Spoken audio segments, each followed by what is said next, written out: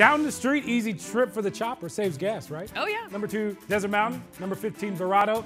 Uh, Coach Hamilton's dance moves were very smooth last week. Oh, yeah. So was this catch right here. Darren Tapley going up and getting the TD.